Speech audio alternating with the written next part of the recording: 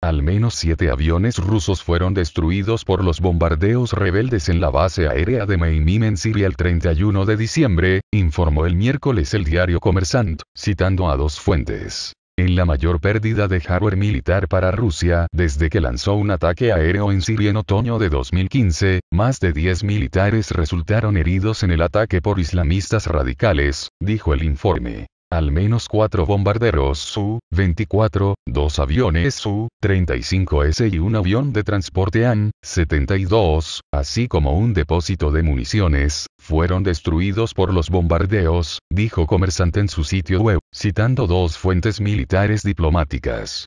Comersant dijo que el Ministerio de Defensa ruso no había comentado Previamente el miércoles, el ministerio dijo que un helicóptero Mi-24 había aterrizado de forma forzada en Siria el 31 de diciembre debido a una falla técnica y murieron dos pilotos. El mes pasado, Rusia comenzó a establecer una presencia permanente en Meimim y una base naval en Tartous, aunque el presidente Vladimir Putin ordenó una retirada significativa de sus fuerzas armadas de Siria, declarando que su trabajo había sido realizado en gran medida.